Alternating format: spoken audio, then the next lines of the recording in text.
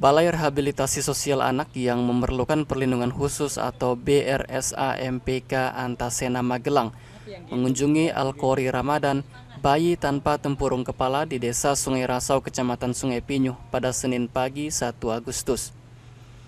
Pekerja sosial muda Antasena Magelang, Christine Anita Sufiani, mengatakan Kori sangat membutuhkan penanganan, sehingga pihaknya akan memfasilitasi operasinya jika bayi yang masih berusia 14 bulan itu diharuskan menjalani operasi.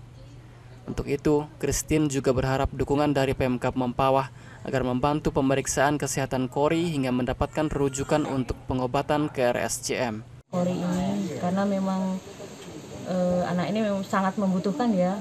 Mungkin untuk tindak lanjut sementara kami akan sampaikan ke kepala sentra dan tadi sudah disampaikan terkait operasinya Uh, sesuai informasi uh, yang telah kami dapat, operasi dapat dilakukan di RSCM, tetapi harus me, apa, dirujuk ya, dirujuk hmm. oleh pemerintah Kalimantan Barat. Dari Kabupaten Mempawah, Zenpon TV memberitakan.